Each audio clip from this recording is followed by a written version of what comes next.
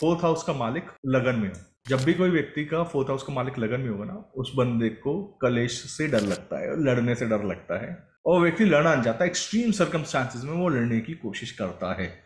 क्योंकि ना ये शांति का घर है, चौथा घर। और इसका मालिक जब कभी भी लगन बैठता है, वो जो लगन है ना, लगन में फाइट करनी पड़ेगी, उसको धकेला जाता है लड़ने के लिए। ऐसे व्यक्ति को ना प्रॉपर्टी हमेशा ग्राउंड ज़ीरो से स्टार्ट करनी पड़ती है, खड़ी करनी पड़ती है, खुद बनाता है। और मोस्ट लाइकली सिंगल स्टोरी के हाउस में नीचे रहता है। चौथा घर का मालिक जब कभी भी लगन में होता है, ऐसा व्यक्ति पब्लिक स्पीकिंग में रहता है कॉन्फिडेंस में हल्का सा कमी रहता है। ये व्यक्ति को सुख जो है ना, इसके लिए सुख का जो मायने है वो ये है कि इसका डेवलपमेंट होता रहे कॉन्टिन्यूसली डेवलपमेंट होता रहे। चौथा घर ना, समाज का भी है तो ऐसा व्यक्ति ना, समाज को अपने तरफ़ से कुछ ना कुछ देने की कोशिश करता है। और वो इसलिए देता है क्योंकि ना बोलता है, सोचता है ये मेरा कर्म है। तो फोर्थ हाउस का मालिक जब कभी भी लगन में होगा, आप देखना ऐसे व्यक्ति की ना प्रॉपर्टी ग्राउंड से बनेगी।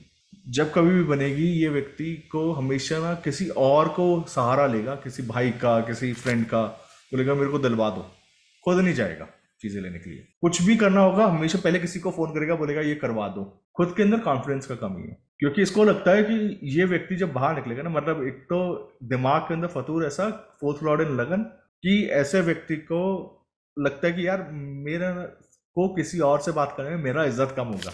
इस व्यक्ति को लोग घमंडी भी समझते हैं। कई बार व्यक्ति डर के मारे नहीं आता, कई बार बोलता है कि ये मेरा काम नहीं है, इसलिए नहीं आता। ये फोर्थ लॉर्ड इन लगन है।